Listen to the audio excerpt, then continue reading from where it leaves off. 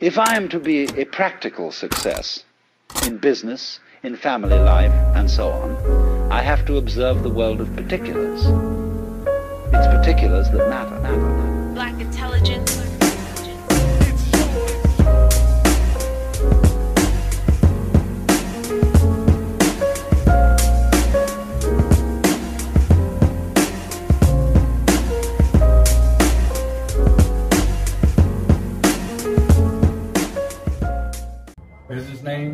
Barber Company. Business was established three years ago here in Orem, Utah. You opened it right before 2020? Yes. Nice. Wow. Like, what inspired you to open up when you did? How'd you open your own business? So I worked at a barbershop locally called Darrow's Barbershop on Station. I felt like I was, you know, in a place where my vision wasn't being, being expressed. So I kind of stepped out of there and then started working at a one chair shop at these little studios around here called Sola over there on University Parkway. Okay. And you know, I established my brand, creating clothing, t-shirts, hats, you know, stickers, and all that stuff. You know, just all the little things that I thought were cool. You know, about a barbershop. Yeah. Even though it was a one-chair shop, I was, I always had a vision of making it bigger. That's awesome. Mm-hmm. Are there any cool stories? What's craziest thing happened to you? A lot of the things that have happened to me as a barber have been more of a, I guess, blessing. Um, I've had like clients come out of the woodwork and bless me financially. Um, biggest tip I ever got was a thousand dollars. I had one of my clients when I was buying my home give me ten thousand dollars to like put the down payment on my home. I think uh, that's that's the joy of this. You know, you give so much of yourself in your work, and people see it, so they reciprocate. Uh, you ever heard of Gandolfo's or Rocco's? Yeah, That's me. That's my family, right? Really? Yeah, Oh, that's cool. We used to do sandwiches, and that was like my number one thing that I loved about it Mm-hmm. was I could trade sandwiches for anything. Yeah. Do you find yourself partnering with a lot of the Oh, yeah, customers definitely. and clients? Definitely. Services for services. Kinda? yeah, like I, I just bartered services with the jujitsu guy for me and my daughter Yeah. to start jujitsu classes. I've done tattoos. Yeah, Yeah, you know. I traded a sandwich. Oh, you made a sandwich. a sandwich. That's cool. Uh, you got a sandwich tattoo. Gandolfo's and uh, what was it? Rocco's. Rocco's, man. Yeah. He loves Sammy's. This is the Sammy one right here. Uh, no Solo's got that food truck. Yeah, he came here yesterday. He po- posted it right here in front of my. I'm gonna be out of it like two nights. a week. Really? Yeah, just. Why don't you just come come over here, man? We love sandwiches here. You gonna be doing sandwiches? happened. You'll send me. Do it, bro. Let's do it. How do you create a welcoming atmosphere in the barbershop? Like, what's important to you for your customers when they come in? What do you want them to feel right away? Number one, welcome. Um, right when you come into a place, for me, the most important thing is the welcoming atmosphere. Right when someone comes, hey, welcome guys, how you doing? Great. Just like that. What's up, man? What's up? What's up? Hi guys. Um, so yeah, the, as far as like feeling welcome, mu- music, that kind of. Yeah, thing. the music and that also, also that like the one thing that I kind of pride myself on is like creating subjects in a barbershop where uh, people feel like they can actually talk about. Like we'll talk about sports and we'll be like, oh, we'll have this debate, Michael Jordan. Uh, LeBron debate, or we'll talk about something funny that we've seen on the news. Anything, you know, we kind of bring everybody in and we ask everybody's opinion. That's something that I actually do strategically in my shop because I'm like, hey, I don't want nobody to feel like they're an outcast. You know, Yeah. everybody's welcome at Vicio. That's. I think it's a huge part of the barber experience Yeah. for sure. In an age of online review and social media and things like that, how do you maintain customer loyalty? What are things that have worked for you to keep your people coming back? I think it's consistency, right? Like, I think when you go to a place, any kind of business, it's about consistency. Yeah. If you're welcomed with a water bottle and doing a great job and taking pictures of you and posting you on their Instagrams, you feel like you're the celebrity, like you're the focal point of it.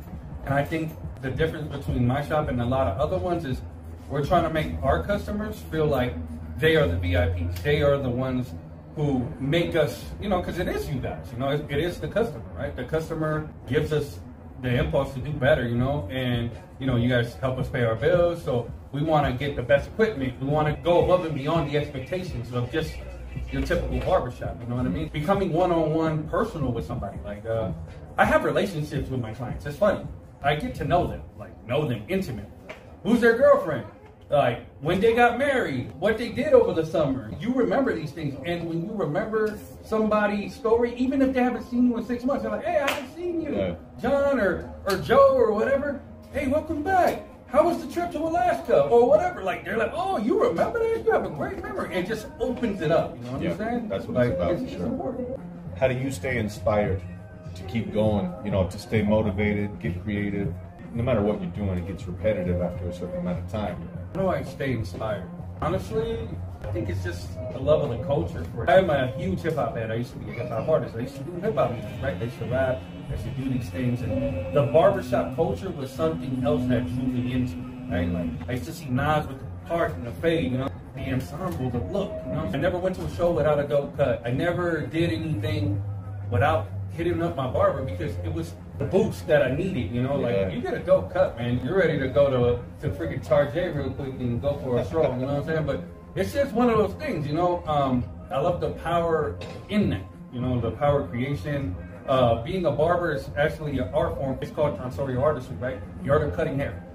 I guess I consider myself an old head. And a lot of the things that I, I do, like as a barber now, a lot of the young guys probably don't do, right? But I try to tell them, do these things because these are like the bread and butter things. You know what I'm saying? The things that that clients look for. Like, I don't know how many times I've been here in Utah and I've heard, you guys use straight razors. And then I'm like, what? It's like, this is a barbershop. Why wouldn't we use a Why straight razor? Yeah. Yeah, you know how to do fades. We're, this is a barbershop. Of course we know how to do fades. You know how to do African American hair. Yes, I know how to do. This like I don't get that. You know, like those things uh, blow my mind a little bit, right? But maybe it's just like uh, I want to keep that tradition alive. Yeah. That true, like Well, you know, purist to an Yeah, the purest. Yeah. The purest to the extent, you know, the aromas, the smells of the barbershop. It's just all everything, man. It's like aromatherapy. You're speaking to people. It's everything. Absolutely. You're like an air freshener. Yeah, yeah. Your the wife yeah. gets home, you get home to your wife and she smells your neck and she's like, oh. Look at that, you know? It's a good lead into the next question. Uh, what advice do you have for aspiring barbers or individuals looking to do kind of what you did, start your own thing? You know, in this day and age, what advice would you give to a young barber? uh, wise counsel. Have wise counsel. Uh, talk to a lot of people who have done it before you. Sure. I am a firm believer in this. You know, more than anything, I think when you start something, when you do something, Yeah. uh, you should have all your ducks in a row. Make sure that you can handle it. Because, you know, being a business owner is not for the weak. Many business owners think, and I, I'm, I'm guilty of it, I thought that for a moment in time, I invest X amount of money, six months later, I make it all back. No, it don't work like that. You have to really, really be mentally strong and not feel like you're defeated because things don't turn out the way you want right away, right? You gotta really put your head down, try different things, and know that sometimes it's okay to pivot. It's okay to try something different. It's okay to uh to feel down sometimes, but if your eye is focused on the goal at hand, you're gonna make it. Just keep going. I, I think that's the thing. Like you can't let people discourage you because people are going to. Even the people you most love, sometimes you're gonna have that.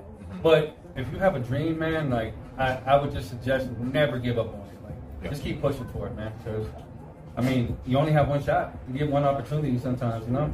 And I don't want to be the guy like I've known so many older people than me. Man, I wish I would have done that. I wish I would have done that. Like all that aside, like that don't matter to me. Like if I fail at this, at least I learned a lesson. You know what I'm saying? I love that business ownership really is that. You know, like you, you're not in there for a certain amount of time. You, you don't have a retirement date when it comes No. to this kind of business thing. It's like golf to me. Right. You know, you get the shots you play for, the, Right. good, the good shots throughout. Right. It's going to Yeah. be a lot of garbage. These guys love golf, so you're talking their language. I'm a baseball player too, so like three out of ten. Right. You know, it's a Hall of Fame career.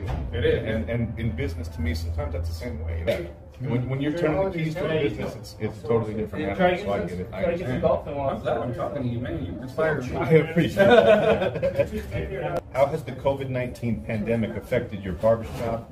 What strategies did you have to implement when it was going down to stay alive?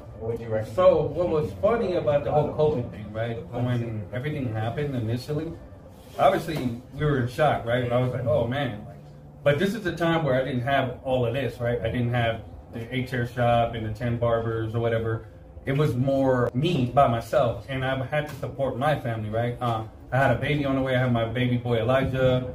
It was terrifying, right? But I realized something like I couldn't let fear cripple me, right? I just used all the resources I could, you know. In the midst of it all, I think I was more successful in 2020 than, than everybody else because I was just like, I'm gonna go for it. I don't care. Like, Yeah. might as well. You Might know, well. all the other barbershops are closed. You know, I'll like pay somebody to like disinfect every day. Like I had a company come in and like disinfect with COVID killing crap or whatever all over the chairs, and I make sure everybody had hand sanitizer and we were doing it. Yeah. Yeah, and we had masks, and, and I just did it, man. I just cut because I needed to. You know, Yeah. I could not use. Out of necessity. Yeah, out of necessity. So it was really simple. I just disinfected everything, and I would just let customers one at a time. Nobody could come in, you know, without an appointment. So You kind of smooth sailed through. yeah, yeah, I didn't have too much of a problem. I love that. Just as far as community goes, do you have any upcoming, anything you want to shout out, projects, collaborations within the community that you're you're involved in? Uh, yeah, Center Point Church. Uh, I attend that church. I'm going on seven years there. Also, CPR, Center Point Recovery. I actually lead that. Uh, I am a leader in recovery and Christian-based recovery at my church. Been doing it for three years. Clothing line? Yeah, that's that's the plan.